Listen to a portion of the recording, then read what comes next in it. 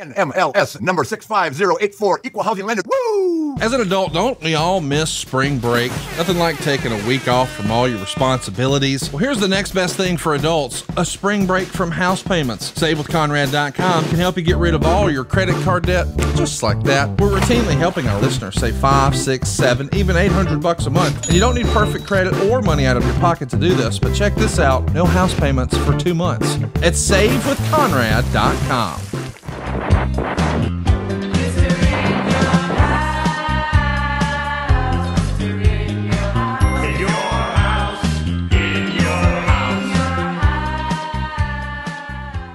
it's Conrad Thompson, and you're listening to Foley is Pod. And of course, we couldn't do it without the Hall of Famer, the hardcore legend, Mr. Mick Foley. Mick, how are you, man? Conrad, I'm feeling great uh, about the show and about myself because I just realized that I had the guts and the passion to make that eight hour drive. Yeah, you did. That's right. Probably nine with stops. Got in in the wee hours of the morning. Why? Because we feel like doing it live in studio is the best way to go. And you uh, traveled here from Louisiana? Is that right? That's right, Lafayette, where I was um, at a Comic Con. Uh, love doing the cons. They're not for everyone. Right. Yeah, Have you, have you been to cons? Yeah, yeah. So, um, you know, I, I just name dropped Beverly D'Angelo. I, Right. I, I Beverly when she did her first con in Pittsburgh, she was like emotionally just wiped out just from the constant, you know, you, you, the con, the constant need to stay up. Yes. So uh, it's it's a long haul. To WWE's credit, I guess it's to their credit. You, they're nev- they never put their superstars in a situation where there's anything but a line. Yes. So WWE appearances are two, maybe three hours tops. Right. But in these cases, you're there seven, eight hours, and uh, and it's A grind. it's a grind unless you love it. Yes. So I do I do really enjoy it. And the week before, maybe it was two weeks before, I think it's been two weeks now. I took my son to uh, Fairbanks, Alaska, Alaska. for the Alaska Comic Con. Uh, Fairbanks is only ten minutes from North Pole, Alaska. So I went on Airbnb, and as soon as I saw this elf house, I went, "That's the house, brother." That's the house. We had this beautiful little elf house. We checked out the Santa Claus house. At first, Mickey was a little disappointed. When we got there, it was 24 degrees. Right. When we left, it was negative 24 degrees. Oh, my. And when I got back home, it was 76 degrees. Turnaround of 100 degrees. My goodness. But it was a good. It wasn't a great con financially. So uh, you know, on one hand, you're like, "What? What am I doing here? Halfway around the world, and I could have done the same in a, you know, at a memorabilia store." But we had a great time. We got stuck twice in snowdrifts, and on both occasions, total strangers just helped me out for an hour. And in one case, it was uh, uh, um a member of the uh, Air Force, Right. um, uh, a tech, I think, tech or a specialist. And she came over, had no idea who I was, helped me happily for over an hour.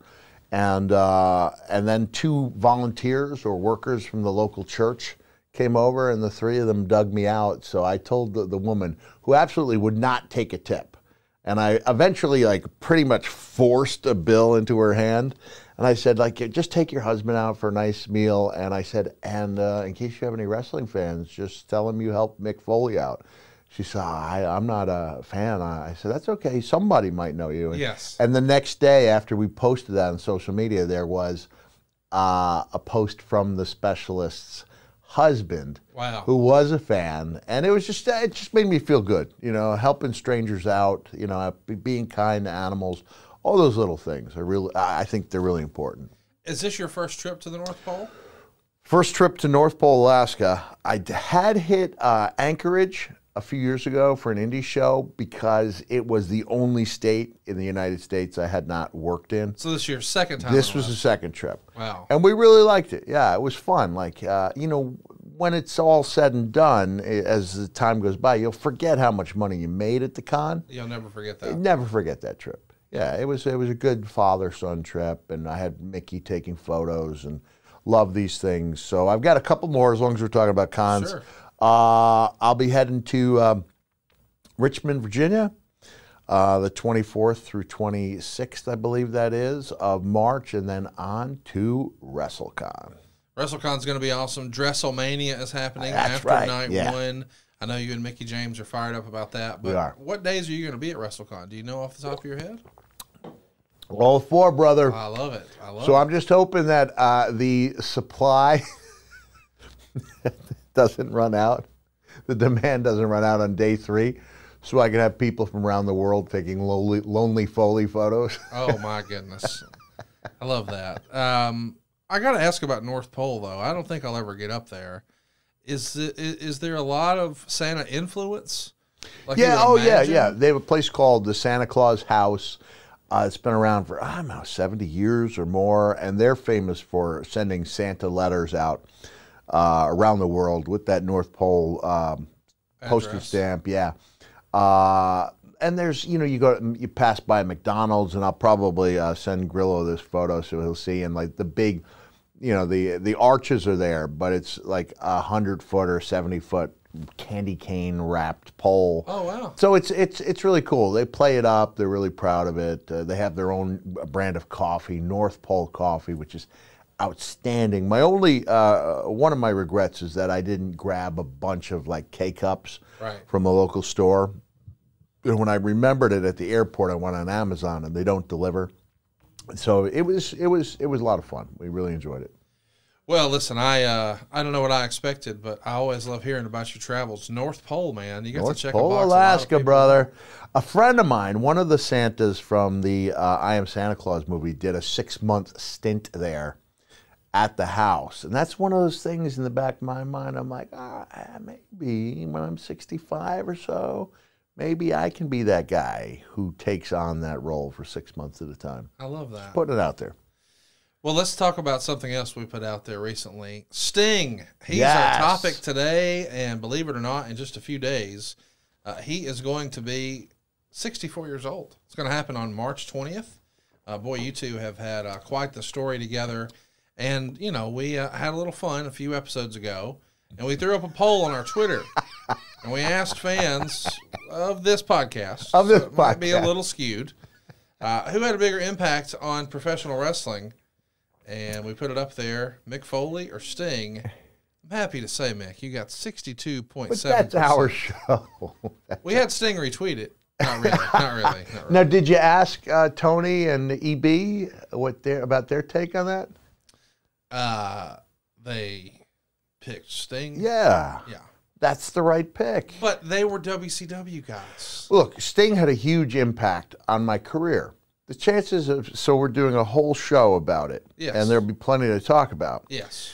Um, if Sting were given the opportunity to do a show about me, it would be a shorter show because I did not have nearly the impact. Sting helped make me. I provided a little boost of energy to Sting along the way, and this is how I, you know, Sting. I think's been pretty open about his.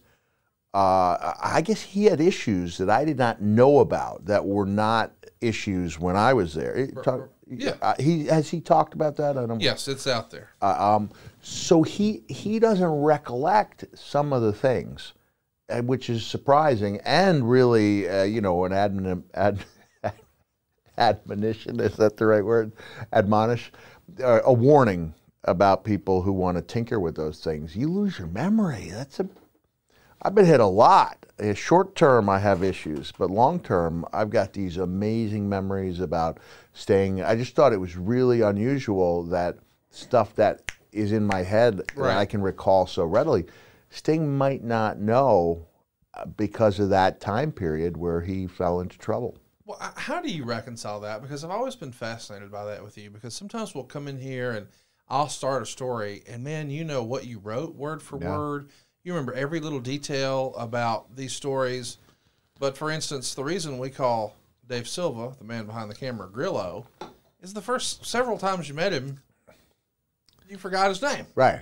And I, Well- I find that fascinating that the short term and long term seemingly are way different. They are way different. Why is It's, that? do I think? don't know. I don't know. I mean, I, we, I, I will make it a point to research that reason. Maybe put a call into Chris Nowinski.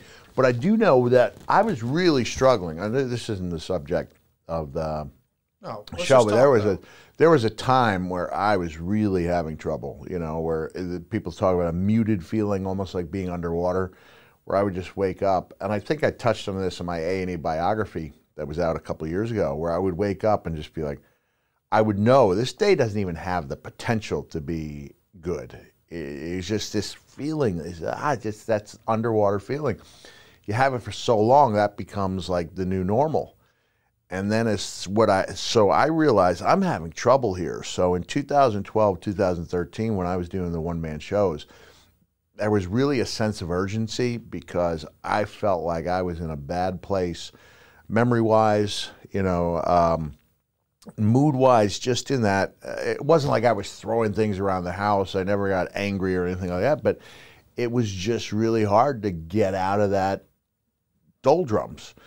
And uh, and in my case, I think it was directly related to the concussions. So uh, some time goes by. I see uh, Chris Nowinski at my show in Boston. He asks me how I'm doing. I said, Chris, I said, this is crazy, but I'm feeling a lot better than I was. And he said, Mick, that's because what you're doing on that stage is the best form of exercise for your brain. I said, really? He goes, well, look, you're you're working on stories, you're you're memorizing some stories, and you're playing off the crowd. He said it's like doing gymnastics for your brain.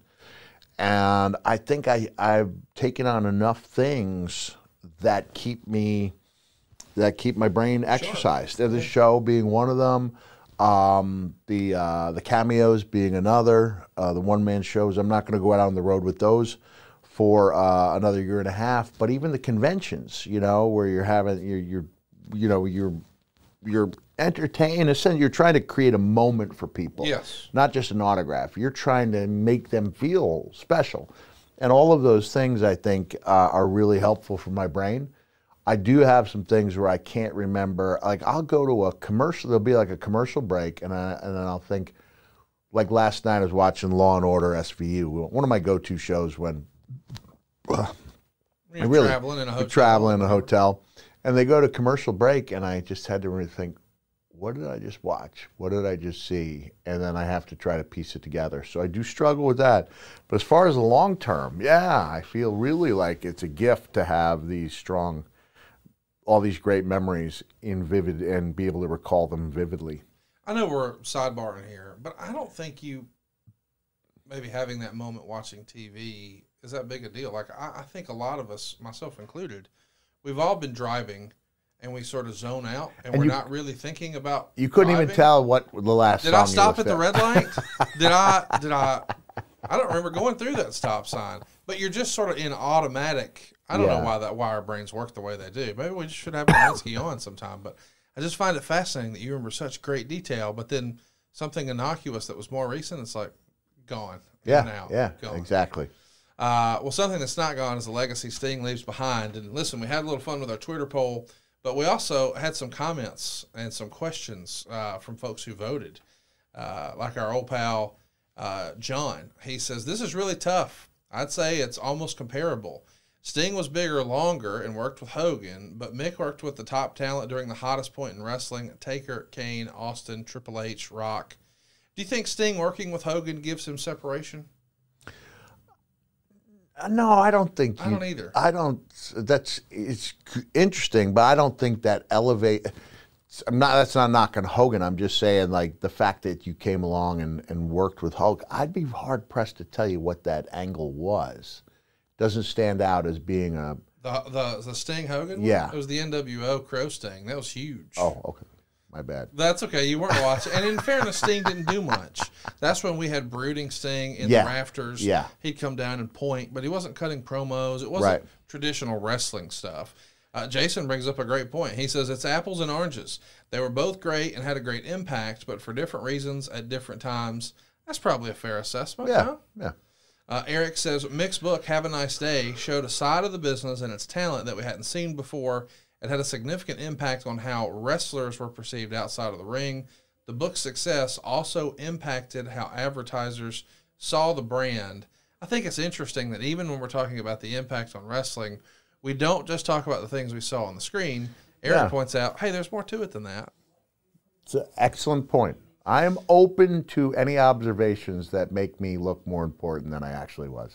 Uh, Tigers at the aquarium would write, uh, I'd be interested to see this posed to Mick and Sting because I get the sense they both go out of their way to put each other over.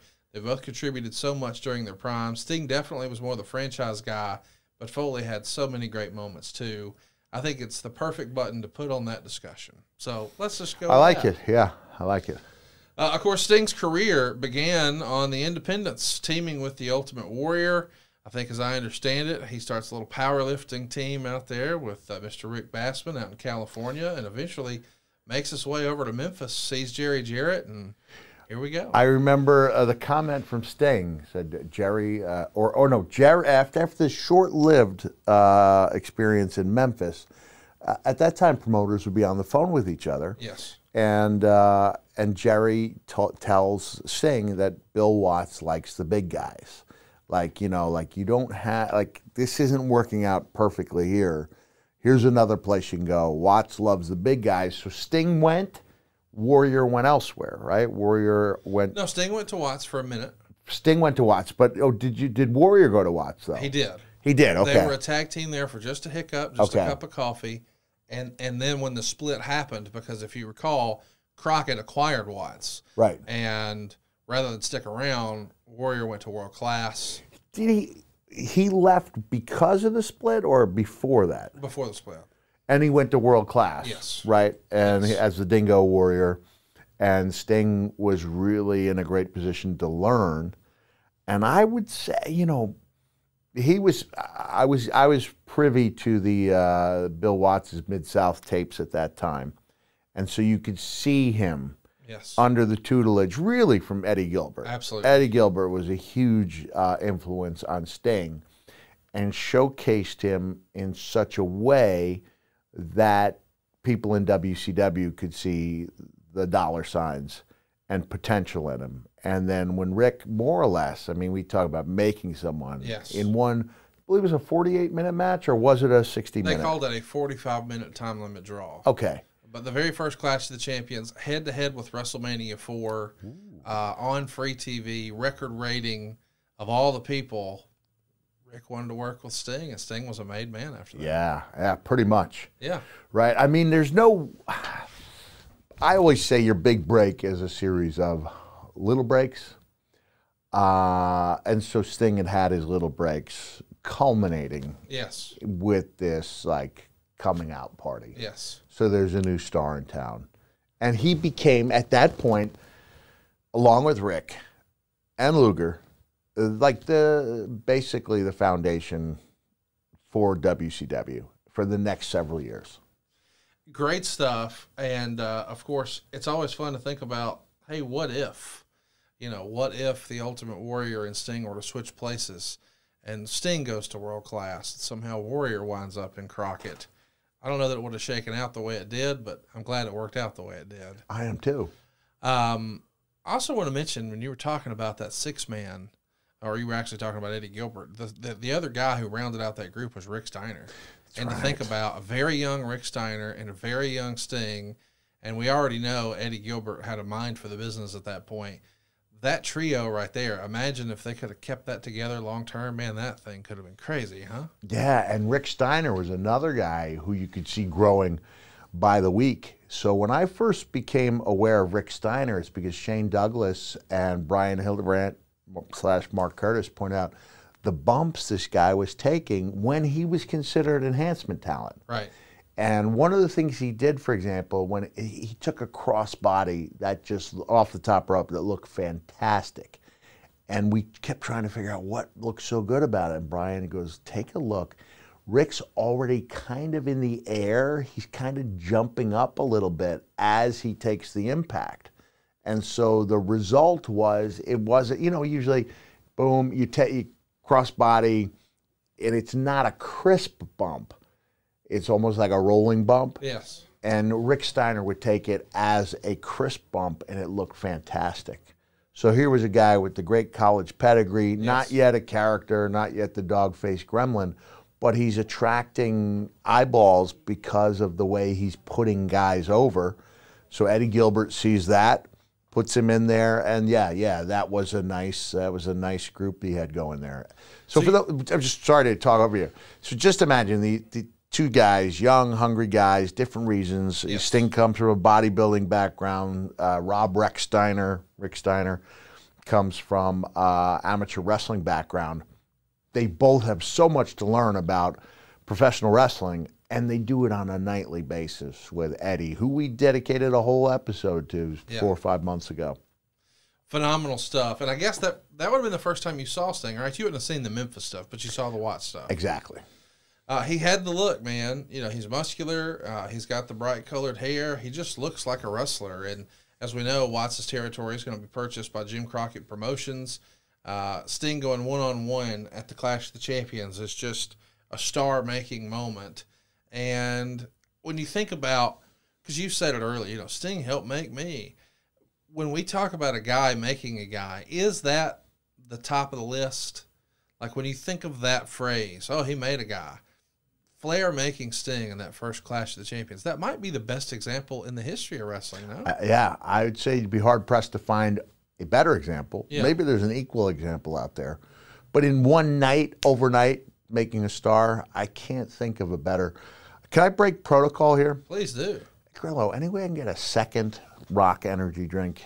I uh, I finished this, and may I point out, uh, Grillo, uh, we can keep rolling, right? I, I mentioned I, I had the sniffles, you know, which uh, you get when you do a lot of traveling. Asked for a tissue, and our show being what it is, Grillo doesn't just bring me a tissue; he brings me an entire roll. We get shit done around here. That's what we like to say. Grillo over Ah, let me see. Which one did I just have? We have fruit punch, and then we have The white peach? white peach. Let me go white peach for my struggling friend Dwayne Johnson. uh, Taz on his old podcast would call this Water Break Jones, but I guess now we are Energy Drink Jones here on the program. Uh, of course, listen, we could talk about Sting all day long. Let's talk about your interactions with Sting. Yeah.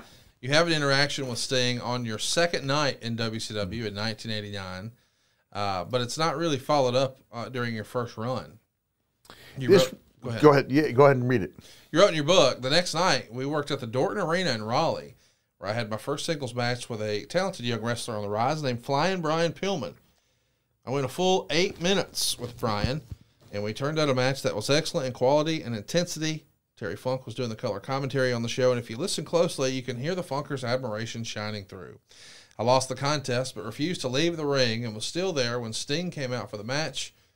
Being the hero to the little stingers that he was, Sting didn't take too kindly to my poor show of sportsmanship and proceeded to beat me all around ringside, including a backdrop over the guardrail that had the Dorton Arena fans oohing and eyeing in unison. Despite the fact that I had been both beaten and beaten up, I was on cloud nine when I got to the dressing room because I knew I had done well. Minutes later, Funk, Sullivan, and even Buzz Sawyer were congratulating me on the match. Your second night in the company, rubbing Yeah. elbows with the top guy, man. Sting, Man, on. yeah, I could not have been happier. Like I said, just lost the match and was beaten up. Uh, I would follow that up by doing the same thing at the Clash of the Champions with Mascaris. I lose the match to Mascaris, then got beaten up by Wolf Wild, the drummer of the house band. Not quite the same. Not quite the same thing.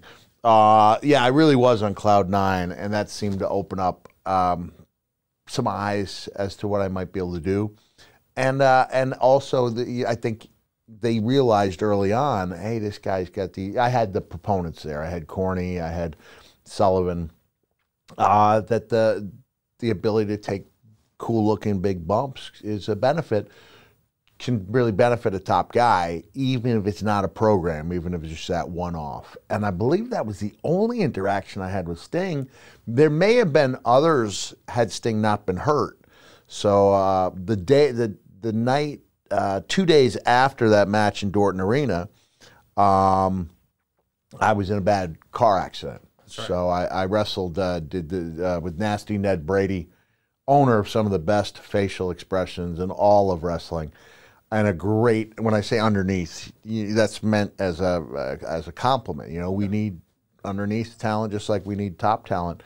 Uh, I turned on him after our match, dropped the big elbow. That was the night of the the bang bang, first time bang bang came, and 24 hours later, I'm in an emergency room, uh, bleeding, you know, badly from several places uh, due to a car accident. Uh, and Sting, I think early February at a Wild Thing, not no, not the Wild Thing pay per view, but probably the clash that followed, uh, destroyed his patellar tendon and was out for six, eight months. Yeah, it, it totally changed the timeline of Yeah. what was possible. And I actually wanted to ask you about that because after your first run in WCW comes to an end, you had worked with Sting They had not yet anointed him like the top guy. that hadn't made him the champ or anything. I mean, he's clearly, you know, one of the big he, baby faces. He was the top baby face. So, uh, and there was no one even close. right. to the point where when Sting went down with that patellar injury, Luger was pressed back into babyface action only about Out seven. necessity. Yeah. Yeah, and this was seven months after the big heel turn with uh, Harley, and uh, we've talked on the show about uh, the mul- the turns become a case of diminishing returns. Uh, that you really, I feel, have one good turn in each company that you work for, unless you're working for a long period of time. But even then, I, the first turn means the most. Right. And Luger, who was having a nice a nice run as a heel, is forced out of necessity to become uh, the top babyface. And I wrote an article uh, about three four years ago called "Re-examining Lex Luger." Yes. even though I knew that I could have more people watching it if I did a two minute video, I wanted people to be able to feel the work that went into an article. It's a good size article, it takes four, six hours, between four and six hours to write.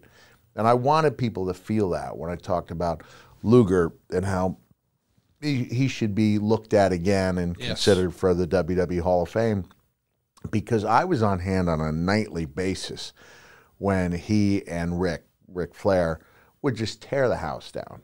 And the, you could say, well, that's Rick. It's like, yeah, but it does take, it takes two to tango. No doubt. You know, and Luger, he may have been being led by Rick, but he was really, I thought, really good in that role. And uh, the 42 minute match they did in Greensboro, I believe it was, or it was maybe it was Rick's 42nd birthday. It may have been a 48 minute match, but it was a spectacular pay per view match, a great match. And they had great matches on a nightly basis because Nature Boy doesn't have nights off. You Right. know, like you don't go in and just go through the motions. Every night's going to be a, a, a match of epic proportions. So I know we're talking about Sting, but um, but I, Lex Luger's a big part of Sting. big part of Sting's career. I um I consider Lex Luger a friend. Mm-hmm. We've we've hung out a few times, and of course I've had him at several Starcasts, and he's just a fantastic human being. Yeah, yeah. Uh, so let me say this: if you have an opportunity to to meet Lex Luger, he's at an autograph thing or a convention thing. Go out of your way to meet him. Yeah. But I do want to say I have a theory as to why he's not in the Hall of Fame. Okay. I just want your opinion on. I think it's because he needs a little more help getting around, and I don't remember there being a wheelchair on stage for a Hall of Fame, and I don't think that that's maybe the light that Vince wanted to be shown on wrestling, and maybe he thought that was a bad thing for wrestling, and it was a whatever. But I just know that, in my opinion, he would have already been in the Hall of Fame. I don't think it's a debate as to whether or not he's his career was worthy of the Hall of Fame. No disrespect to the folks who were in, but I think you and I would both agree there's some folks we would have put Lex Luger in and before them, perhaps. But I just think it's the wheelchair thing. I don't think that's fair. I don't think it's right. I'm just saying I think that's maybe why he hasn't already gotten that invite. I speculated, and I even talked to uh, Mr. McMahon about this, um, and I, we covered this conversation about the weight loss. You did not bring the scale, did you? I did not. I was focused on a separate request this time. I'm sorry. Okay. The toilet paper.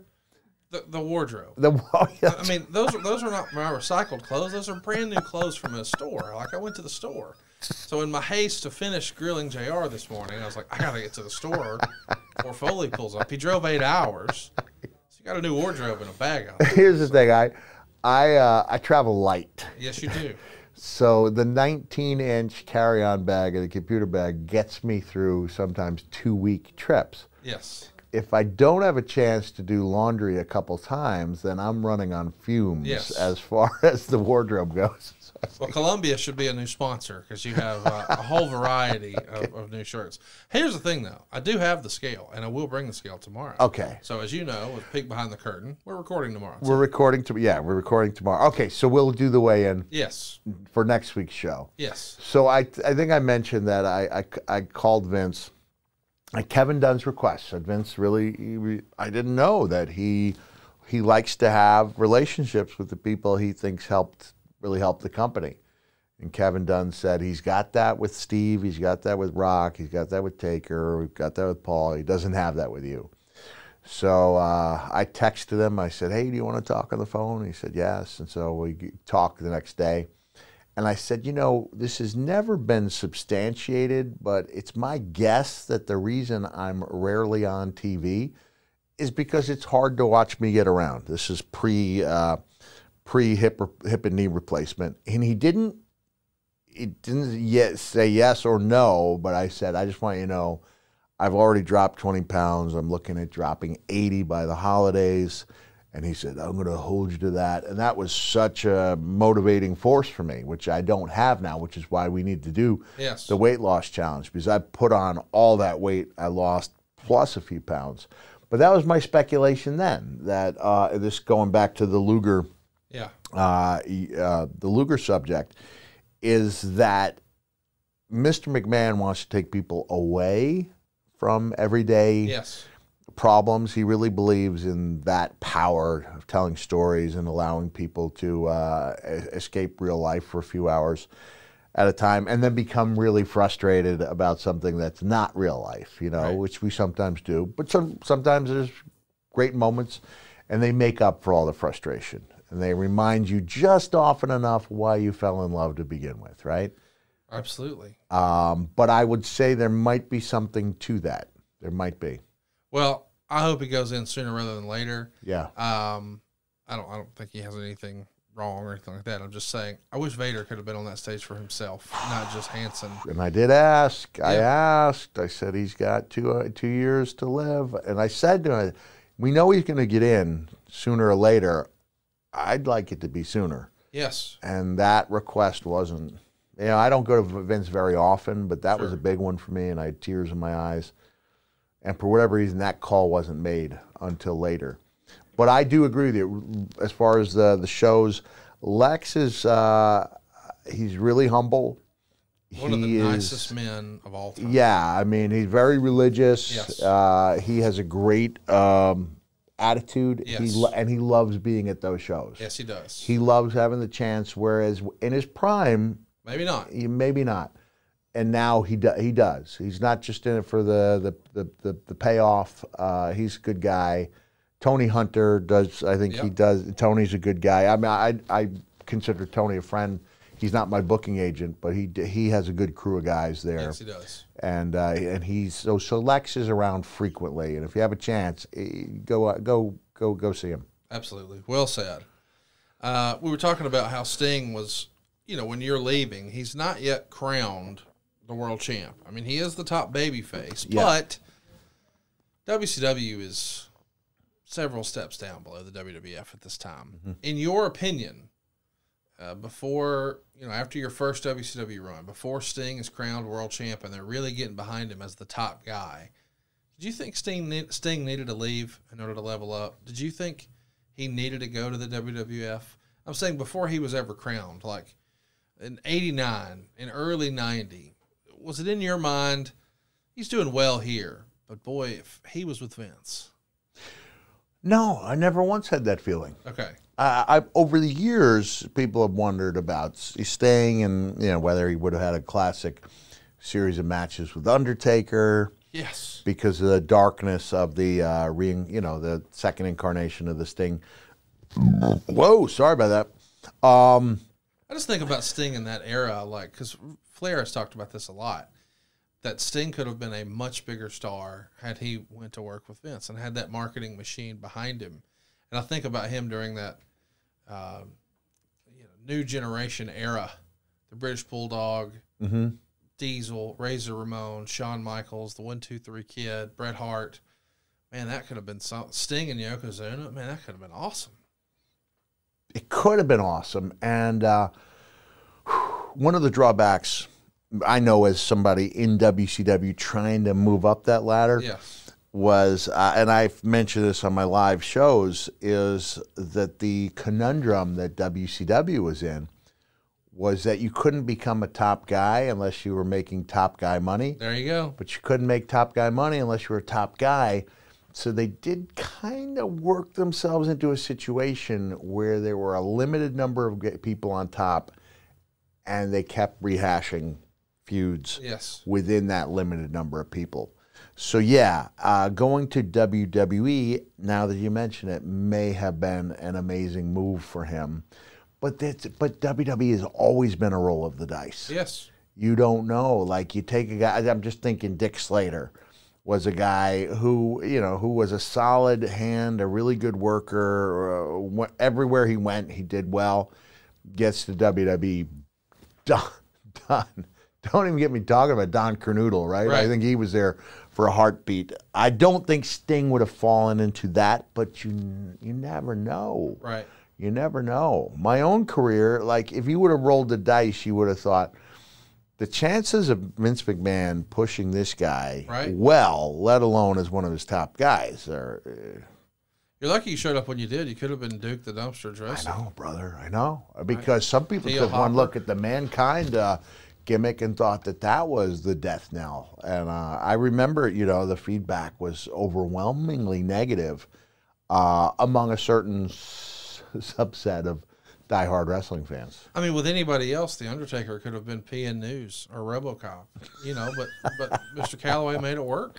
Yeah, yeah, you know, you're right. and, and that's a testament to you guys. Um, you know, the, the the the saying in the wrestling business for a long time, and you hear about this a lot in '96 when Kevin Nash and Scott Hall are talking about jumping ship from the WWF to WCW, is they want to make what's known as Sting money. Sting money, that's right. Yeah. Do you remember hearing that phrase, Sting money? Yeah, yeah, I do because that was the top ech- echelon. I don't know what kind of deal Rick worked out uh, and whether he was making the same money as Sting when he came back.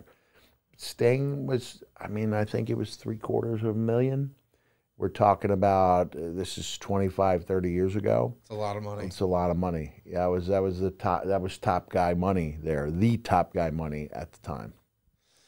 Um, when you make your return in '91, you're immediately programmed with him. Was this a surprise to you, or I mean, did you know right away I'm coming in and I'm just going to be fed and then I'm moving on? Or No. I knew I was going to be working with Sting.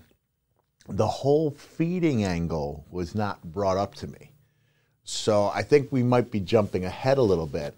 You've got two guys being told two different things. I say, Sting being told he, he, there's a series of guys coming in to put you over and move on in rapid succession. like Hogan in the '80s, Yeah. And me thinking that I'm here for a full time job right? um, and it results in the only tense moment I've ever had with Sting. And that moment came about when uh, I get called into action to work main events with Sting on house shows because Nikita Koloff, it just sounds so silly, doesn't want to lose on non-televised house shows. I, I like. I'm sorry, you know, like I, I still to this day you'll run into. You let Grillo beat you in the parking lot before you came in. You couldn't care less. You just said hook the leg, brother. Did I Have some mention that I lost to Wolf Wild after losing to Mascaras? So it just it seems silly to quit a company over not wanting to lose to the top guy at house shows. Yes. Uh, but that was, you know, that was Nikita's decision, and uh, I was called into action, thinking that I am in WCW as a full time guy, and now I'm in main events with uh, Sting, and Sting goes, "Do you have any ideas?" I think this is the Meadowlands.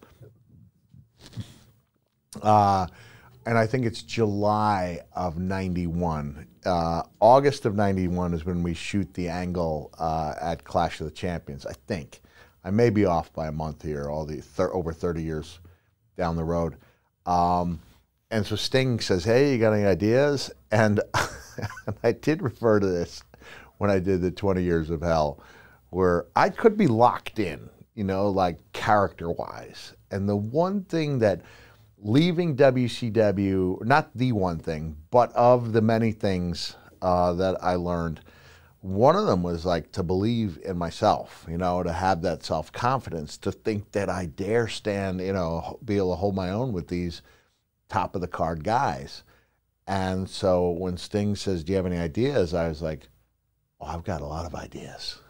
he said, Oh, yeah, it'd be so good to work with somebody who's got new ideas. And I start laying these ideas out, and I see Sting's eyes getting wider and wider. And he goes, and this is the only, I hesitate to tell this story only because the expression might make look Sting, what he said might make him look bad, but keep in mind, he's only coming from the place that he's been told Yes. exists. So he's one of many. yeah, he goes, So you expect Sting to go 50 50? Uh, he goes, He said, I thought you were just here to put me over. And I, so I think, well, yeah, I'm here like Meadowlands to put you over. I don't know I'm supposed to be here for six weeks and gone. Um, so when he said, You expect Sting to go 50 50, I was like, Yeah. like I said, I'd be locked in. And I could see a little bit of the trepidation, you know. You see the wheel spinning. Uh, like, yeah. So I said, I'll tell you what. This is one of the best bargains I ever struck in wrestling. I said, what if we go out there and do what I suggest for the first few minutes? And if you don't like it, we'll do whatever you want. And I get I get those those tingles right there because we went out there, and uh, after five minutes, things are things are going really well, and there was never ever there was, there was never a contention. And the only other contention was that he thought maybe at a certain point the character was uh, Cactus Jack was getting too sympathetic, and that's this is before we did. Um, Bash at the Beach. The uh, uh, I know I'm jumping around here, and that's when I laid out my feeling that the bad seed may have a certain amount of heat, but the child who makes the conscious decision to be bad gets more heat than the person who's bad to begin with. yes. Uh, the the teach as and I said the teacher will have her heart broken by the student she tries so hard to work with, who turn who turns out not to live up to her expectations, as opposed to the bad kid. And then I also laid out what at the time was uh, uh, in the movies. Uh, at that time was um, Cape Fear with Robert De Niro. Yes. And there's this great scene where Nick Nolte, who is the babyface, Yes. has hired hitmen. No, they're not there to kill him, but uh, uh, was it Joe Don Baker or one of those other character actors who says, uh, "I got some boys with some ball bearings, baseball bat, bicycle chain." And so Nick Nolte is behind the dumpster listening in, and he just knows he, you know, his problem's going to be taken care of. And then he sees and hears the heel valiantly fighting the odds and overcoming them to the point where De Niro gives his uh, his great line, "Counselor, come out, come out, wherever you are." So the heel is here. He's battered, bleeding, but unbowed. The baby face is cowering behind a be, behind a dumpster. And at that point, you don't know who the baby face or the heel is Yes. until De Niro's character's further actions establish him Yes. as a horrible human being. But a horrible human being can still have some Redeeming qualities. redeeming qualities, and that was so. So that was the only other, even minor point of contention. But it was just, it was so much fun to go out there, and they weren't long matches. They were about eight or nine. They were uh, shorter than ten minutes around the horn, but they were really really filled with action, and it was it was a different type of opponent for Sting, and. Um, and this is one of my favorite stories, partially because I get to do a Dusty Rhodes imitation. And the thing is, it might not even be 100% factually correct, But my recollection of it is that I was giving these promos in uh, the the uh, first floor of the CNN Center with Diamond Dallas Page as the he was the producer. This is pre wrestling DDP. DDP had been one of Dusty's right hand men uh, from Florida Championship Wrestling. So Dallas is listening to the promos. When I would go in there, I wouldn't have the one promo I would do and extend. You know, Bruce tells that great story about Yes. Randy Savage doing, and Randy, one of the great promo guys. But on this day, you know, that was the idea. You have one basic promo, and when it was 30 seconds, you go, ooh, yeah, thinking, thinking, thinking. When it was one minute, it was, ooh, yeah, thinking, thinking. think- So you stretch it out Yes. when I came in, I had all these ideas, and I was just throwing stuff at the wall, and a lot of it was sticking. So that when I said Sting, you know, I was having trouble falling asleep last night. Over the years, Mankind and Cactus kind of morphed into the same, you know, similar, very similar voice. But I said, I was trying, I couldn't fall asleep, so I started counting all of the ways that I could do bodily harm to you. I fell asleep at 1,733, and I hadn't even gotten to your legs yet. And so, so a guy with good pop from Grillo. And there were just all the little songs I would come out with. So legend has it that DDP at on that day went up to the eighth floor, ninth floor, and told Dusty Rhodes, Dream, you gotta check this guy out. And the next thing I know, and I don't know if it's the same day or a different day, and my telling it's the same day, Dusty's down in that little studio and he's bigger than life. He's got Stetson hat. I don't think he had eight band-aids on his head because I think he had he hadn't wrestled in a while. But he's got the button-down shirt. He's dusty, you know, and he's listening silently, listening silently the first couple promos, and then he walks up to me, puts his hand on my shoulder, and says, "I think we're going to keep you around here for a little while." So I had no inclination that I wasn't going to be around anyway. Right. Uh, I was simultaneously working with Sting while I was losing on Global Championship, Global uh, Joe Pedicino's Global Wrestling because I didn't have a contract, you know. And then there's the the talk I had with Magnum where I was offered the 75 grand. And Magnum said, it's just a carrot, you know, next year, you know, we 150. And I looked at him, I said, Magnum, you've seen me wrestle there might not be a next year. That's the way I felt, you know. And you got it. Uh, and I got it. I mean, I got the one, the 150, and uh, we were off to the races, and the table was set for the big angle. Uh, not only the big angle with Sting, but the teaming of uh, my Cactus Jack character with Abdullah the Butcher, which was bigger and better than probably it would have looked on paper. Well, something that looks great on paper and in real life. Our friends at Henson Shaving. Oh yeah. It's a razor you and I have fallen in love with. It truly is a razor that will last you a lifetime. And I have to admit, before I actually ordered one, because they do send us something to vet, and we got to try it, I loved it. Yeah. But I was shocked when I convinced my dad to go buy one how affordable it was. And I'm not going to say how much it costs here, but I will say it was a whole heck of a lot less than I expected because I had heard that the blades only cost three to five dollars a year. And me being a salesman, Mick, I thought, okay, so that must mean the razor is really expensive. It's not. Not. It's a razor that will last you a lifetime. And you heard me, blades are just three to five dollars. Can I year. just interject? You know what I love most about it? What's that? No planned obsolescence. There you go. There. I mean, seriously, there's no plastic, there's no subscriptions, uh, there's no gimmicks. These guys wanted to create the best razor, not just the best razor business. And that's why we believe in Henson Shaving. They're family owned, and they're really an aerospace parts manufacturer that somehow got into the razor game. Yep. But before this, these folks were making stuff for the Mars rover and the International Space Station. And now they use those same aerospace grade CNC machines to make metal razors that extend just 0.0013 inches. That's less than the thickness of a human hair. Now, here's why that matters. You see, razor blades are like diving boards. The longer the board, the more the wobble. The more the wobble, the more nicks, cuts, and scrapes. You see, a bad shave isn't a blade problem, it's an extension problem. So not only does Henson make the thinnest razors around, And they also have built in channels to evacuate hair and cream. So it makes clogging virtually impossible. It's like old school feel with all the benefits of new school tech because it's a standard dual edge razor blade, but it's 0.0013 inches. And you heard me, a year's worth is just three to five dollars. Yeah. Come on now. Let's say no to subscriptions. Let's say yes to a razor that will last you a lifetime. Hurry to hensonshaving.com slash Foley and pick up the razor for you and use the promo code Foley and you'll get two years worth of blades for free. Just make sure to add them to your cart.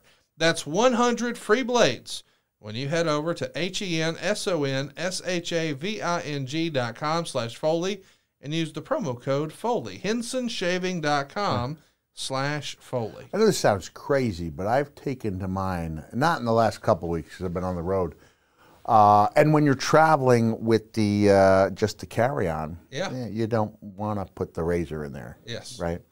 Uh, so I will. Uh, uh, I, uh, when I get home, I'll, I'll clean up. I actually enjoy it to the point where my shaving system has become like a friend. Point where I even gave him a name. And, Really? Yeah, Ramon. Yes. Razor Ramon. well, Ramon Razor. oh, of course. Ramon. The, the other one was trademarked. You're right. HensonShaving.com forward slash It's a long way to go for very little. You know what? You made it work. I knew where it was going, and I just couldn't stop it. It's like Jordan in the '80s. I Can only hope to contain it. as long as we're talking about shaving, it's been many months since I talked about my own uh, beard oil, right? The Oh, full yeah, Yeti. And the, I, what I do is uh, when I go to the conventions and I see uh, part of my bearded brethren, I will get let them sample it, and it's there's so much in the way of men's products. It's all really woodsy, as if to say like I'm a man. And my feeling is, dude, if I have to prove my manhood, I've got like 200 hours of VHS tapes you Yeah. can watch.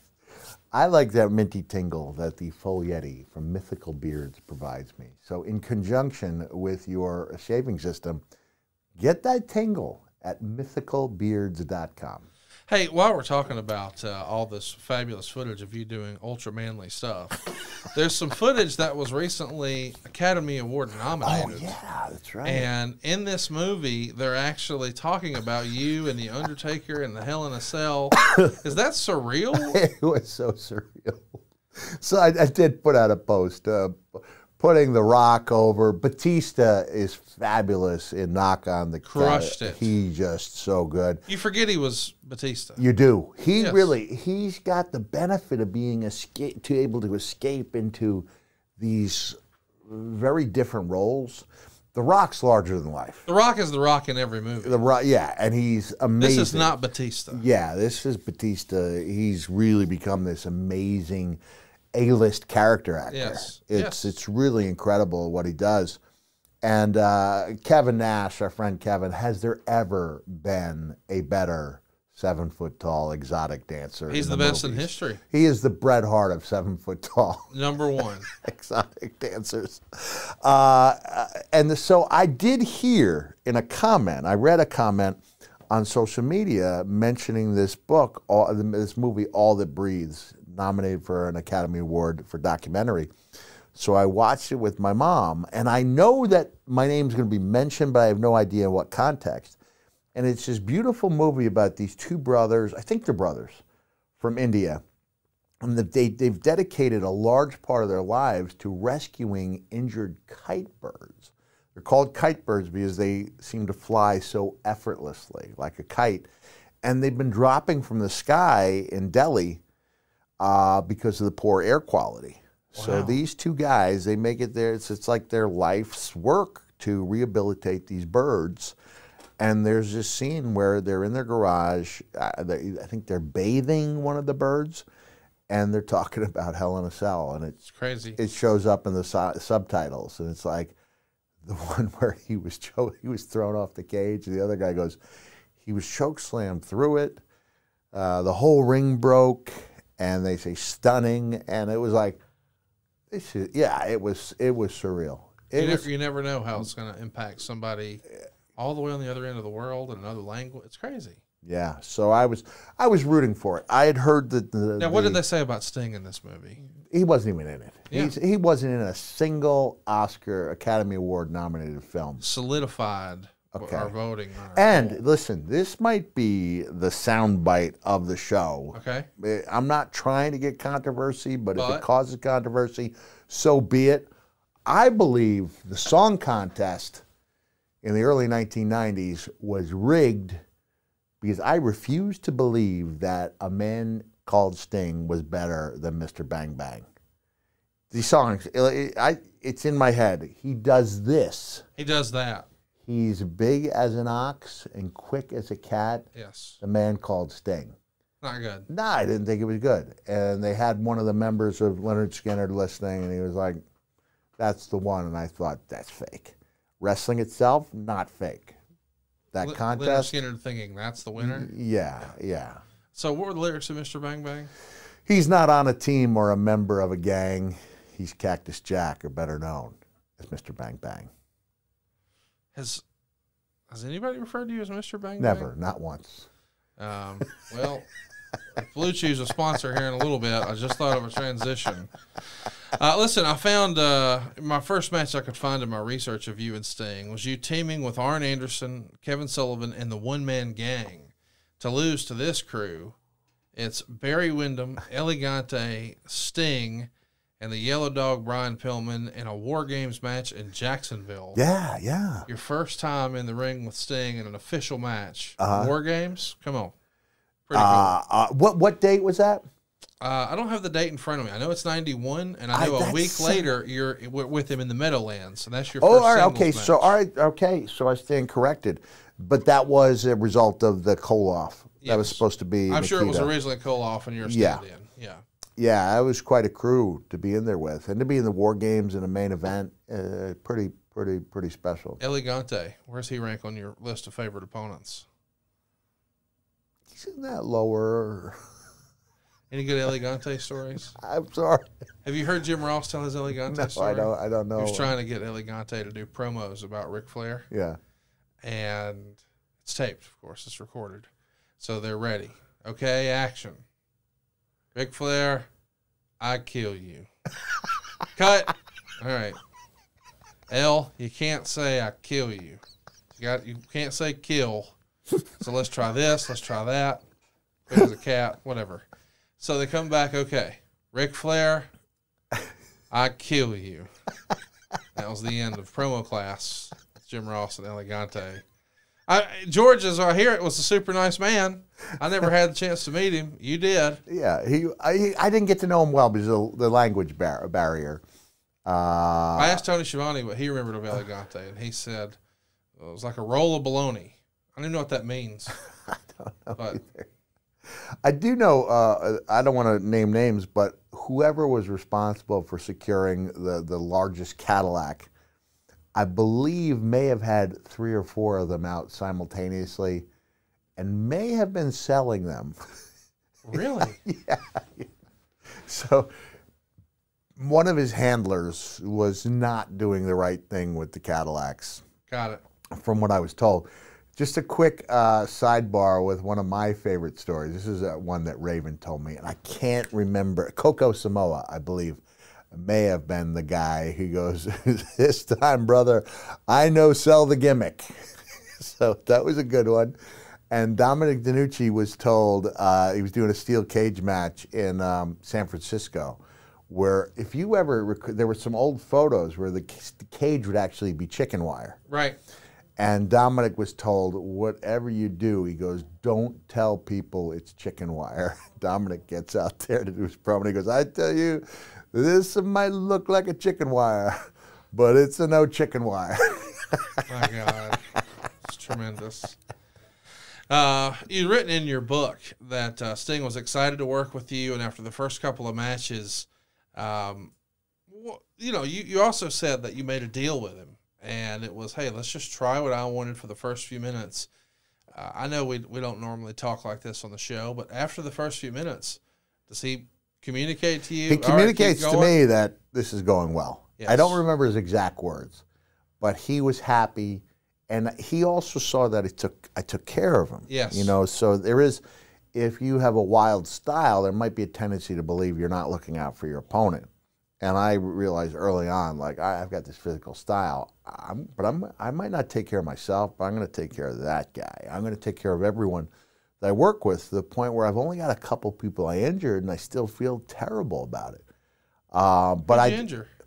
I injured a young man uh, when I did the elbow off the ring apron in uh, one of the extra talent. When I came off, he instead of coming down on his chest, I came down to the point of his chin, and it drove his head into the, the sportatorium ground and concussed him.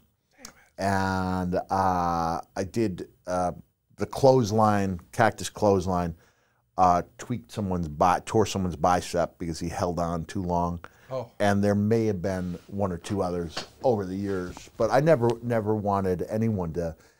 no, you were the one taking the brunt of it. Um, Yeah, time. yeah, and I, you know, and I, I laid my stuff in when I when I had to, uh, but I wasn't ridiculous with it. And Sting liked. He always and he told me twenty years later. He goes, "No, you never hurt me."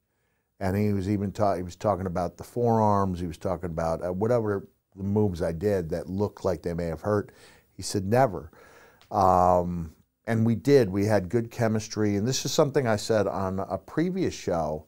But I, for me, it was a really big moment. And I'm not saying this. This is not a, a knock on Sting at all because uh, Clint Eastwood said a wise man's got to know his man's got to know his limitations. Yes. I believe in Magnum Force. So Sting came up to me maybe third or fourth night we worked together. He goes, Look, I'm not great at putting a match together. I'm good at interjecting things. So he was pretty much telling me, do your thing and he will contribute. And that's that's what happened. And we just, man, I'm thinking off the top of my head about the submit or surrender match we had. The one where I was wearing the white Sting t shirt and I drew the devil horns on it. Nothing but the best for my wardrobe. Sure. Um, and we made great use out of a Rubbermaid garbage can, uh, which you know isn't as good as, but you can do more things because it doesn't lose its shape. Right. So Sting splashed me off the top rope, and I don't care if there's a Rubbermaid over you or not. When you don't know when a 250 pound man coming from those heights is landing, it's scary. Yeah. And that was, and if we could find footage, that was the closest I've ever come to executing a strength move to the point where when I saw it maybe five, six years ago, I thought, how did I do that? And what I was doing, I think there was a reversal of a whip. Sting goes to this, he vaults to the second rope and comes off. And I catch Sting in midair. I spin around and drop him over the top rope with a Gilbert hot shot and I don't know how I did it or how I would even have been so bold to tell Sting that I thought I could catch him in midair, spin him, and drop him. But that's the closest I've ever come to doing a power move, and it was it was pretty good. Um, in the Carolinas in mid 91, you and Sting are working every night in United States title cage matches with you putting him over. Any funny cage match stories stand out? Are you saying that because you know I'm, I'm legitimately asking. uh, Greensboro, North Carolina? Okay. Uh, this was a few weeks after the legendary uh, Brian Pillman Sid Vicious altercation. Yes. Oh, that's right. That's right at the Ramada. I mu- I stayed at the Ramada during those days, but uh, I must have gone in early. I guess uh, Sid uh, was. I can't remember if Sid was with WWE then or not. Uh, but there was some words between Brian and Sid, and Sid went out to his car and came back with a squeegee to do some damage. And word got around. You know, there wasn't. It was the the. There was no internet there were hotlines. hotlines and an Newsletters. underground, yeah, uh, uh, you know, the smart fans of that era, and they had come up with uh, maybe a hundred fans at ringside who'd either brought squeegees or made them out of cardboard. I love it. And this was Sting's idea to supersell the squeegee. So that a man who had shown no fear throughout his career, and certainly uh, no fear during my time with him, uh, reacted in an unpredictable fashion when I unveiled my bag of goodies. You know, it was like, you know, the garbage can and the chair, and, and he fought them off valiantly. But, brother, when I pulled out a real honest to goodness squeegee, Sting started like I don't know if he was screaming, although it sounds good to me, but he started trying to climb out of that cage and pulling him down. And now we've got the reverse opposite. We got me with the squeegee doing the big Verne Gagne comeback and Sting on his back, you know, on his haunches, you know, scooting back, doing the Memphis back pedal, you know, and it was just a thing of beauty. I'm sure to the 93% of fans who were not in on it, it seemed a little strange. Sure. But it was a it was a fun moment, and it was Sting having some you know levity with his uh, with his character. Tremendous. Uh, when Sting wins the WCW title for the second time, it's February of '92. Were you thinking, uh, "Well, I'm going to get a title program with him now"? No, not necessarily. But I do know that when I was asked about uh, uh, the pay per view, the Beach Blast, I was all in. Even though, as we've talked in the past, there there was it was not for the title for some unknown reason. The Do you think it hurt you that it was non-title? in a weird way, I think people may have been expecting me to win. yes, of course. because Dusty had done a good job. He had seen how much fun I had and how much pride I took in the Falls Count Anywhere. And Dusty was like, We're going to make you the king of the Falls Count Anywhere matches, which meant I didn't win a single one. As long as I was in WC, I won the one with Orndorff when I was a babyface. But uh, I would go around the loop. Uh, there was an interesting, to me, the, an interesting night in Savannah, North Sa- Savannah, Georgia. Uh, I was about to say North Carolina. I had Colette with me. I think she was pregnant with my uh, oldest son Dewey, uh, and we were staying in Savannah for a couple days, and uh, so she did not come to the matches. I think she was, you know, pretty six, seven months along. Um, and I thought I'd get away. I was kind of banged up. I thought I'd get away with some Gaga, and I had Sting. I found a plunger for Sting to apply to me, and the Gaga wasn't working that night. It just wasn't. I was trying to sell them something they were not interested in buying. So we had to call audibles, and what had been designed as a goofy fun match became a really physical uh, match, to the point where I do. I was literally crawling down the hallway to my uh, door um, because because of the call we'd made mid match to make this thing more serious. And we got it was the match we needed to have for that crowd. Somewhere else they might have Gone for it. gone for it, but that night for whatever reason, like I said, they weren't buying what I was attempting to sell them. But we had every night was a, was a good match every night. We uh, we've talked about uh, how you would turn babyface in 1993, and that's when you find yourself on the same side, teaming with Sting against Vader and Paul Orndorff. Was it any different being his partner? How was Sting as a tag partner? Well, it was great, with the exception of that one night we talked about in the past uh, in Detroit, which I think was a six man. And when I heard those Cactus Jack cheers, I thought, uh oh, this is not good. Because when Mike Graham came to me with the idea of doing the babyface turn, he said, We need a number two babyface.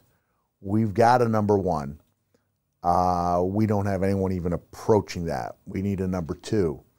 And as bold as it might seem to sound, say I ever had a chance of being that number one guy, to that to that audience in Detroit, uh, and and we've seen this over and over, you know, with the organic movements for certain guys, whether it's Daniel Bryan, Kofi Kingston, uh, Sami Zayn. Uh, on that one night, it looked like I was going to be one of those guys, and my feeling right away was that it was not good for the long term future to be getting that kind of reaction.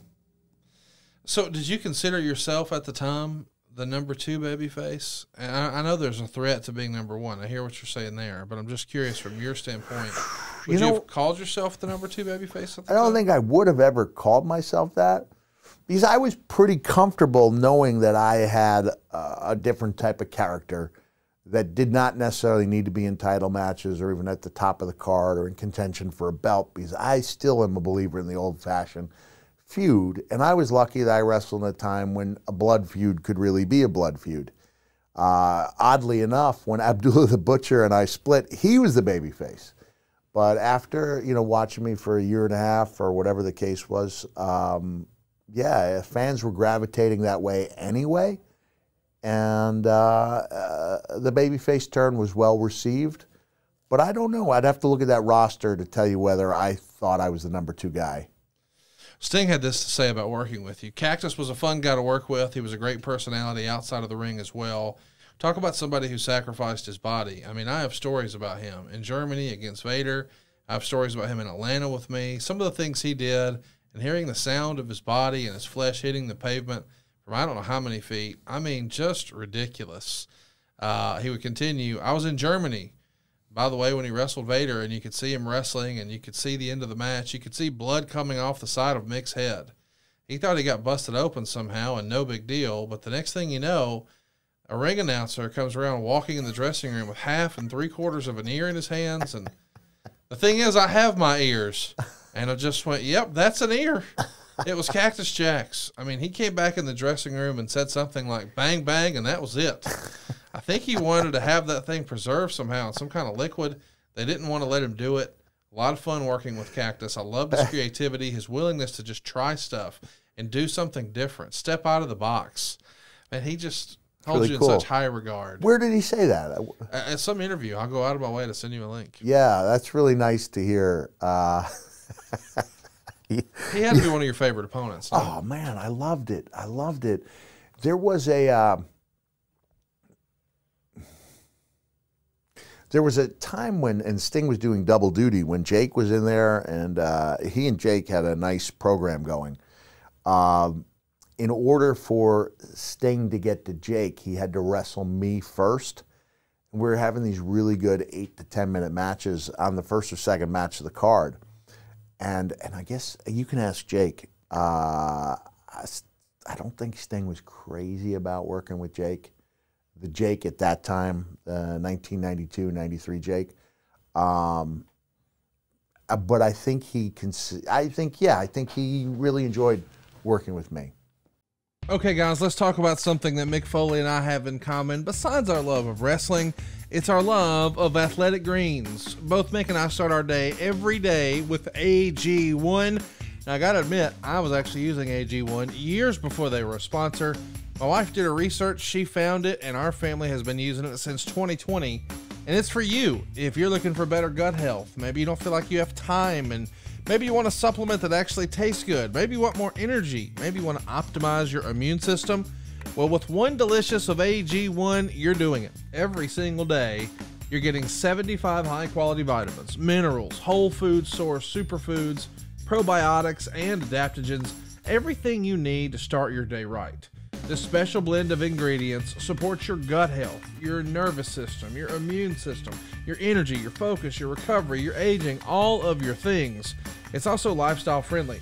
Whether you're trying to eat keto in this new year or paleo or vegan, it's also dairy free and gluten free. By the way, AG1 has less than one gram of sugar, no GMOs, no nasty chemicals, as a matter of fact, no artificial anything, and it still tastes good. What you'll notice is that AG1 helps support better sleep quality and recovery, better mental clarity and alertness.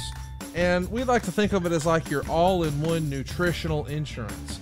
Now, Mick and I believe in it, but you don't have to take our word for it. Check out their reviews, man. What you'll find is that Athletic Greens has more than 7,000 five star reviews. Really think about that. When's the last time you left a review for anything? So, for 7,000 individual folks to go out of their way to A, leave a review, and B, bring it in at five stars, come on. Right now, Mick and I want you to reclaim your health and arm your immune system with convenient daily nutrition. It's just one scoop in a cup of water, y'all. That's it. No need for a million different pills and supplements to look out for your health. And to make it easy, Athletic Greens is going to give you a free one year supply of immune supporting vitamin D and five free travel packs with your first purchase. All you got to do is visit athleticgreens.com forward slash Foley.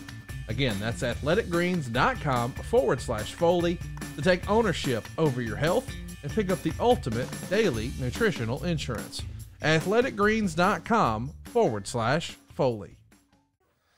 Uh, okay, let's get back to it here. You and Sting have a relationship outside of the business, I'm sure. Um, but Sting has always been a guy who a lot of people uh, think of as more of a loner. You know, he's um, A lot of people he used to work out with out in California, I think, just called him Real Estate Steve. They had no idea that he was the man called Sting. He was just Real Estate Steve.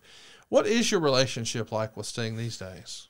Well, I haven't seen Sting in a long time. It's always good when I see him. Uh, he and I had a deep talk. He's Sting very religious.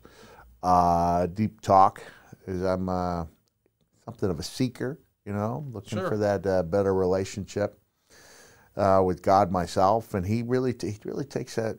You know, he really feels like that's his calling. Sure. So when I was at uh, Leon White's celebration of life in uh, Colorado, Sting was the only other wrestler there. Right.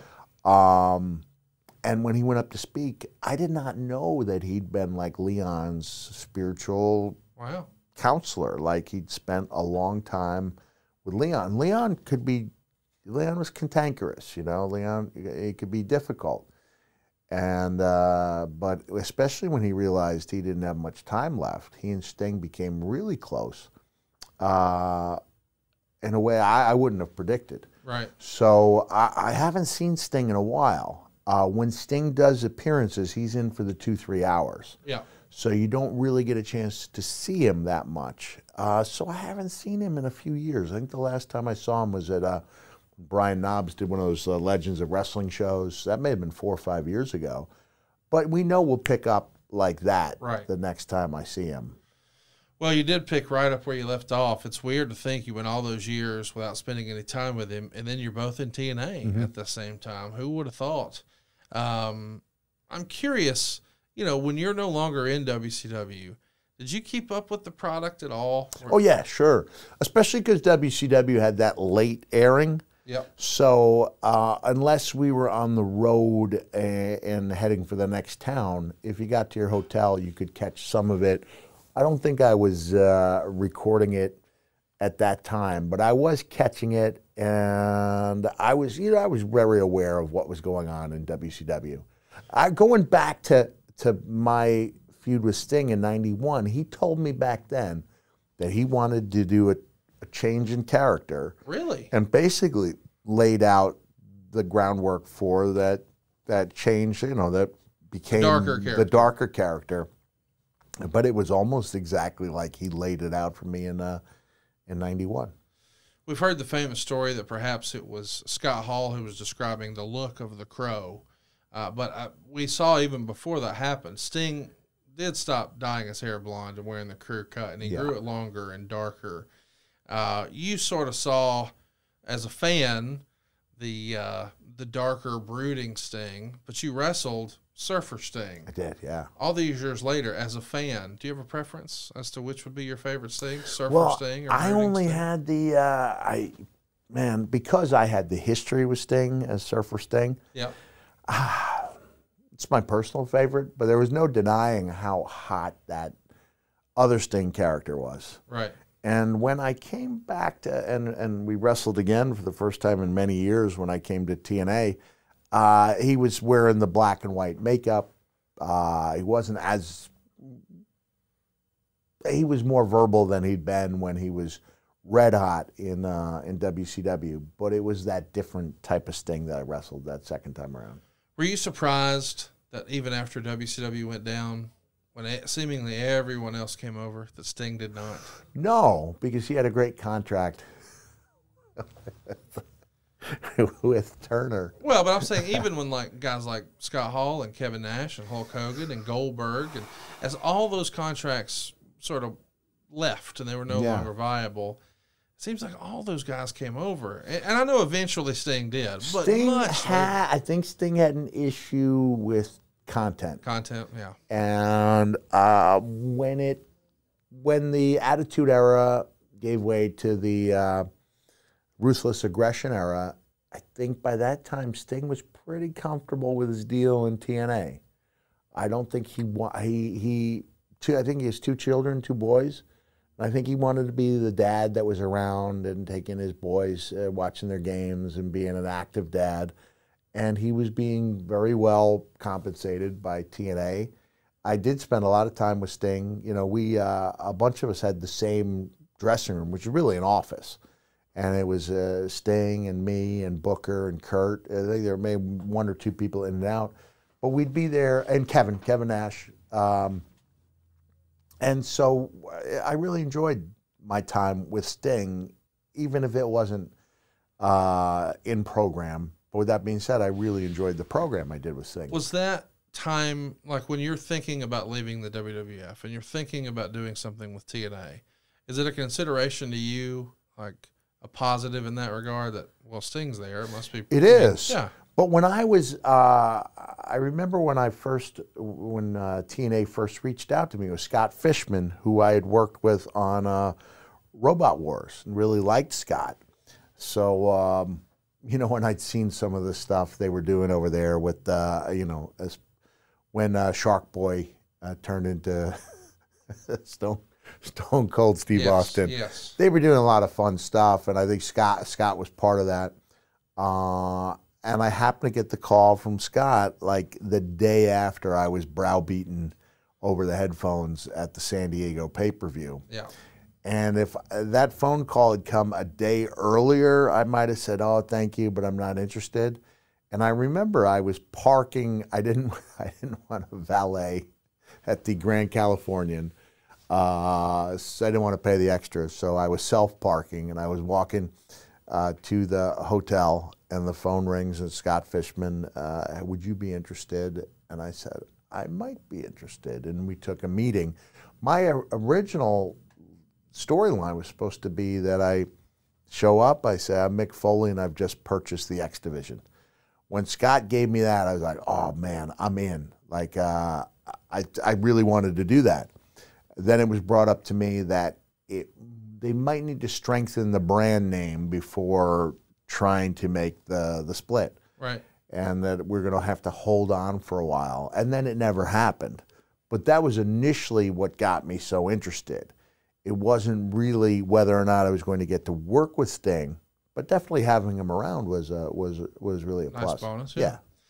At Destination X in 2009, you're the guest enforcer with Jeff Jarrett as the guest referee. Sting would defeat Kurt Angle, but during the match, you accidentally hit him with a chair.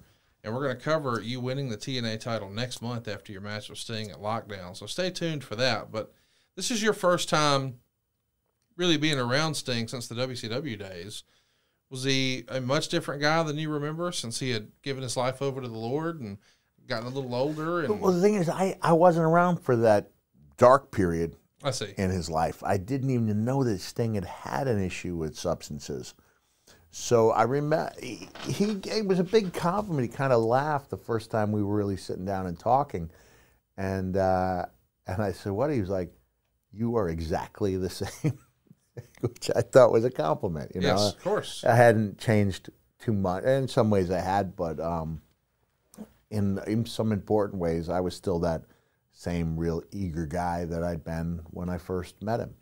You weren't jaded. I don't think I was jaded. Yeah. Uh, the main event Mafia, of course, is the top heel stable in the company.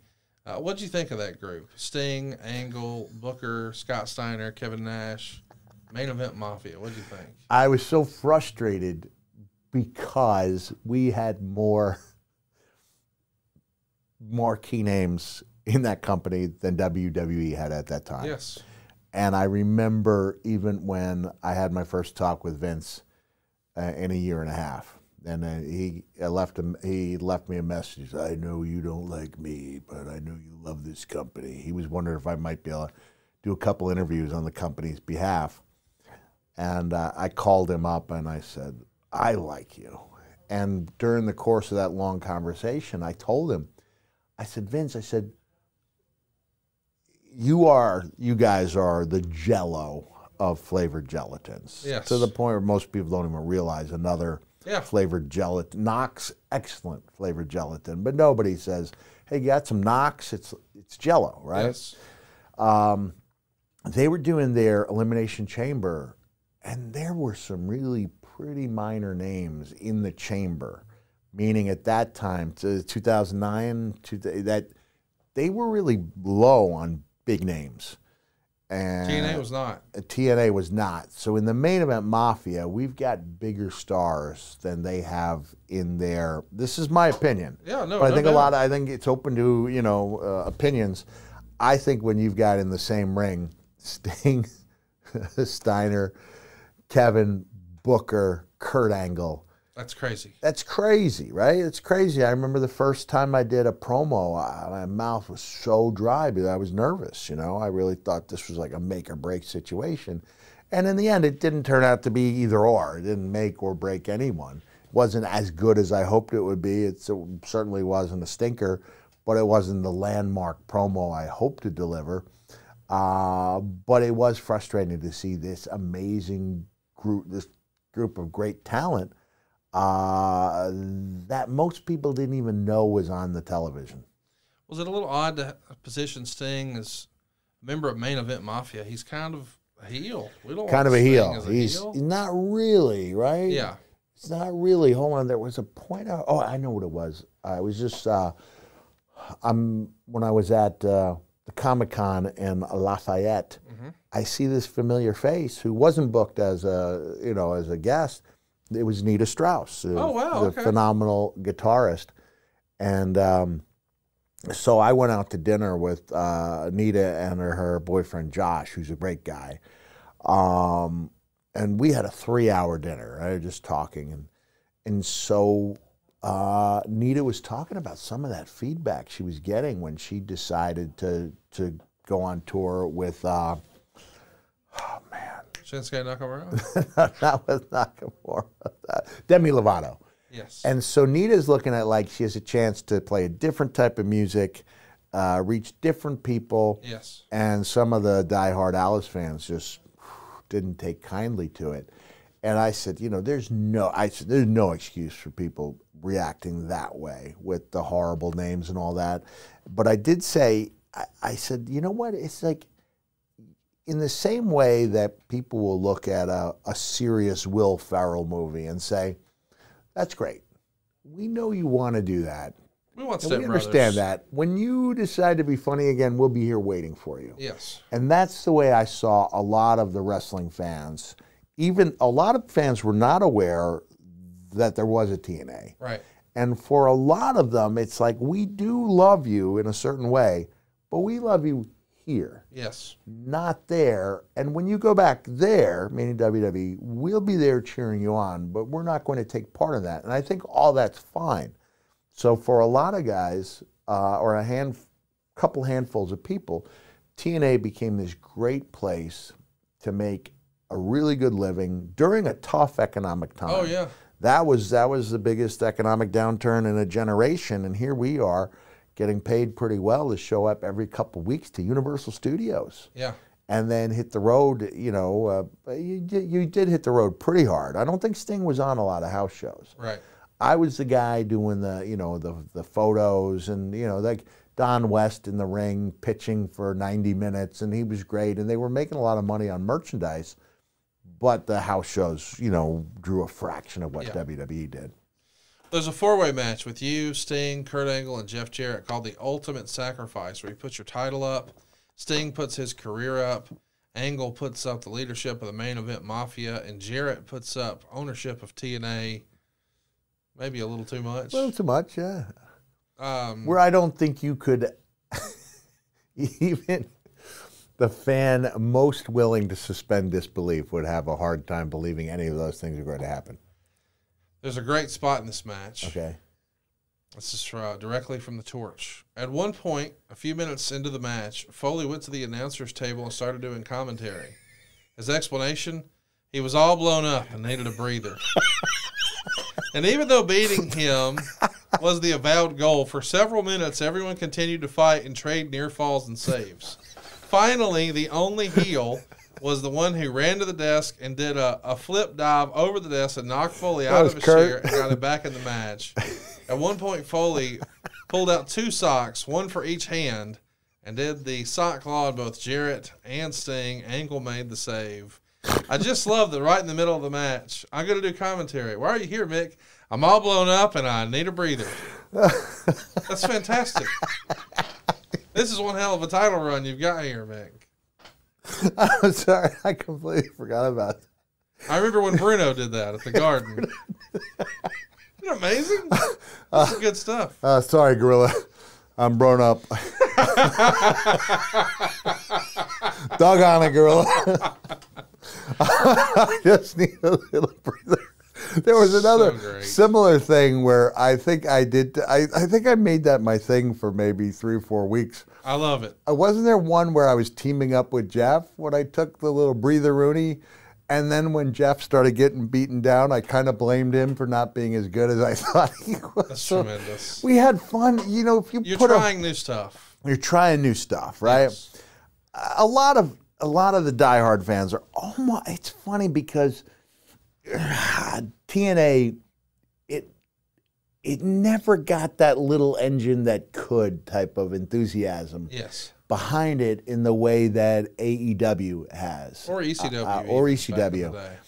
Uh, and there were times we'd go to England and it was like It was we- like that. Oh, it was incredible. Like we were like uh, royalty. You'd go out there and say eight thousand people. Man, that's a lot of people for promotion.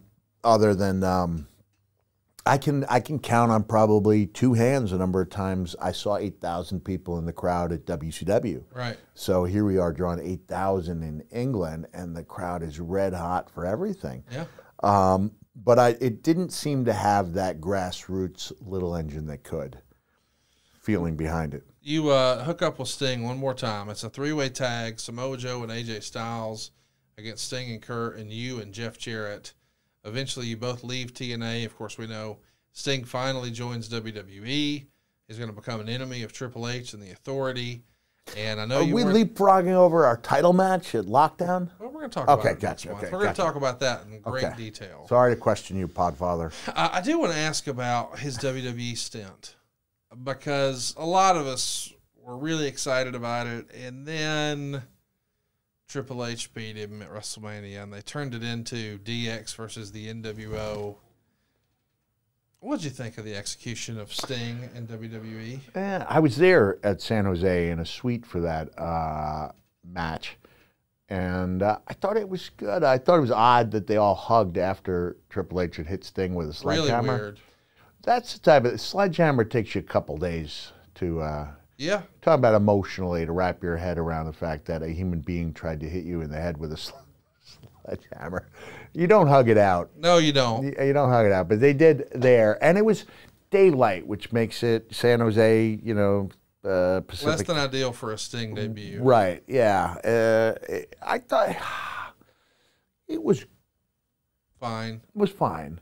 The one thing I took exception to is when is Sting the portray Sting being portrayed as the one guy who held out and held, you know, stayed loyal to WCW, and it's like, so he'd been wrestling every week for TNA. TNA. There's this great line where uh, who? Oh, Sting. Sting coming back, and they're doing the round table in the days leading up to Mania with Michael Cole, Booker, and Nature Boy, and uh, and Michael feeds Ric by saying, first time Sting's been in the ring for ten years," and Ric goes. Oh no, that's not true. He's been wrestling down south. Book, you were there, and you see Michael like we're trying to ignore Yes. the truth, which is this is not this guy's first time in 10 years. And also, it's like, uh, you know, I look, you get what you get. And you, you know, sometimes you don't get what you're worth. You get what you negotiate. And I already made it clear that I've made my amends with Marc Mero, but I was driven by jealousy over his uh, guaranteed contract.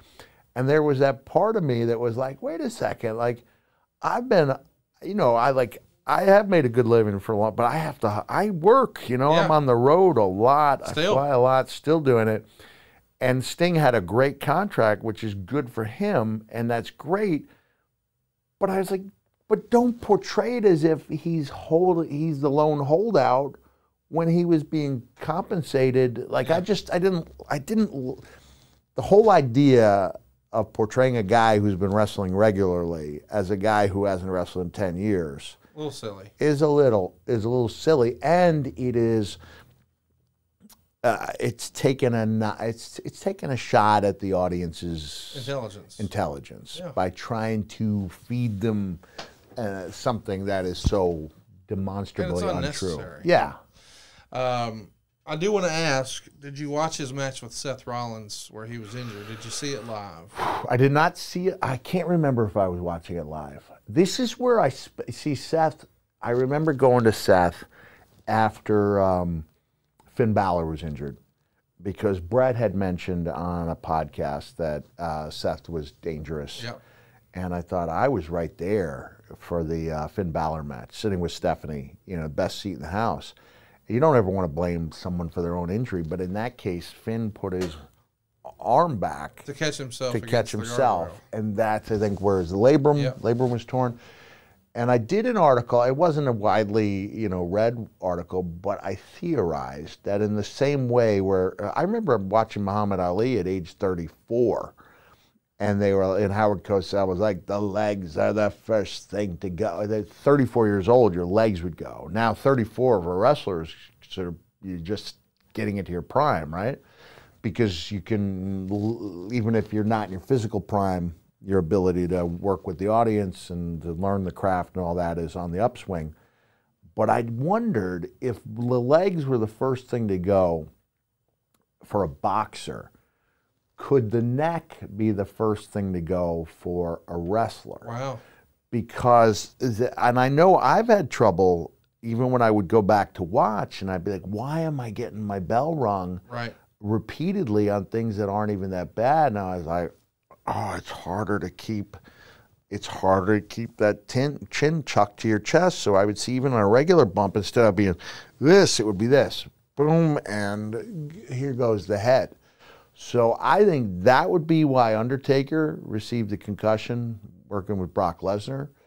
And I think that may have been why Sting was so badly it was badly injured with the buckle bomb. Yeah. Not because Seth did it wrong, but because he was a guy in his 50s, right? It was the straw that broke the camel's Yeah, yeah. So uh, I did not think.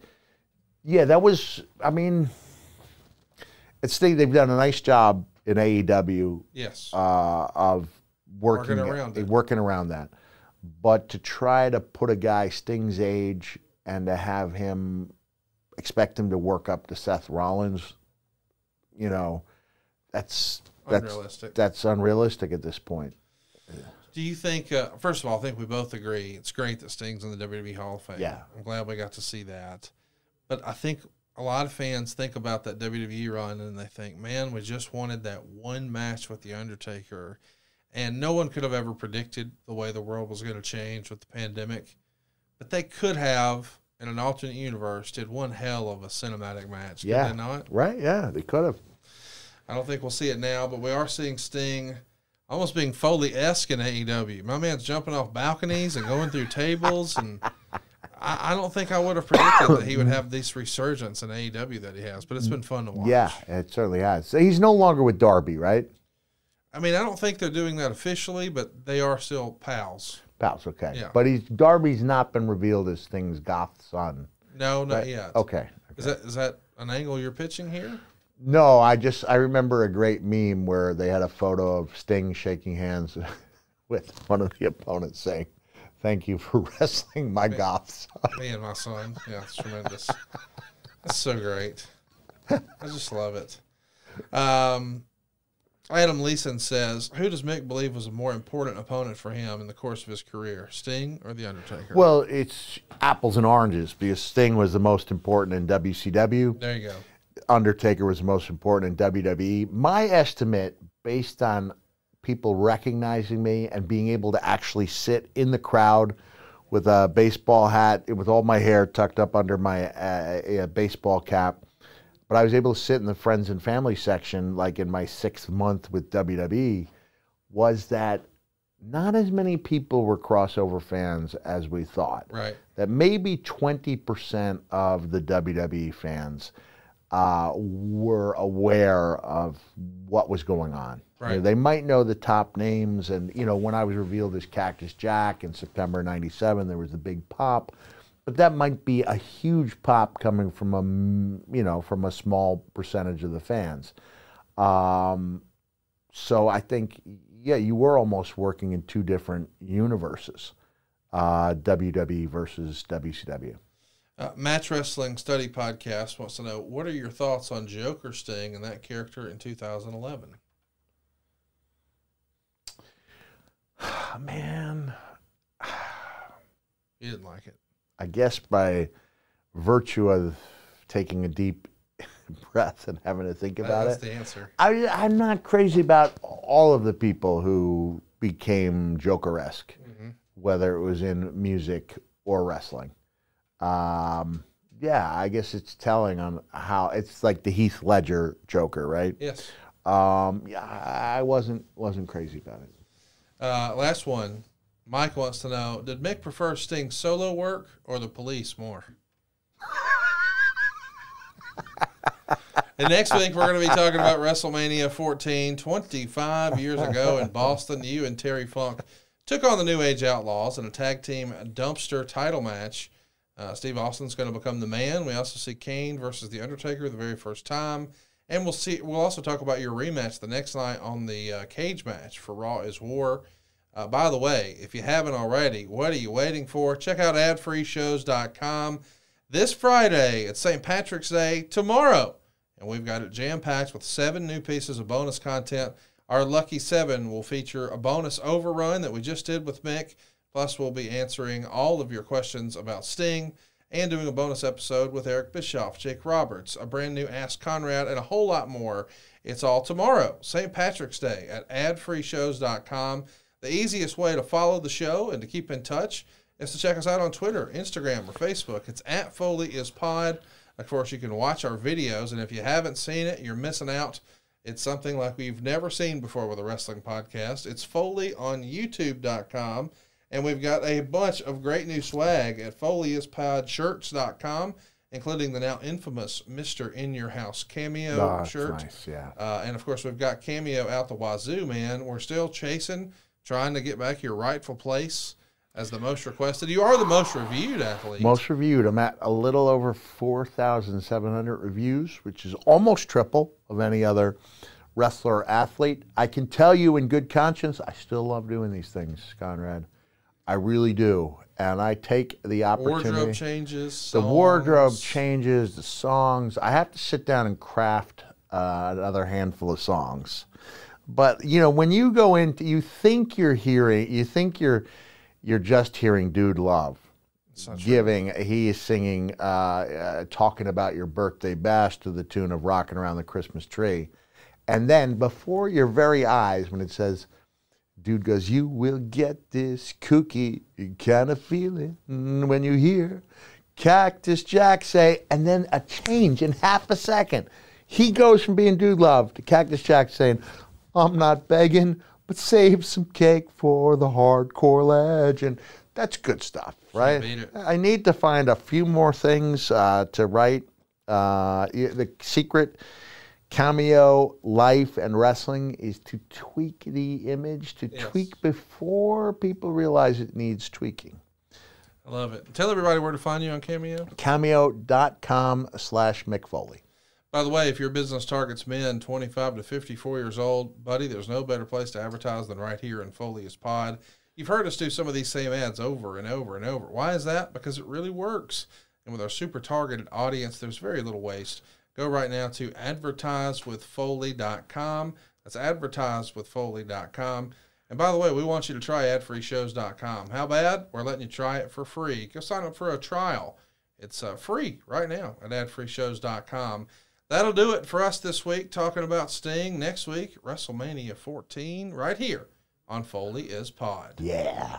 Hey guys, Eric Bischoff here, and just want to call a quick timeout. I want to tell your listeners about what I've been telling everybody at over at 83 weeks, quite a while now, about all the cool things that are happening over at adfreeshows.com. The wrestling wars are heating up as David Crockett and Conrad revisit March of 1985 on The Book.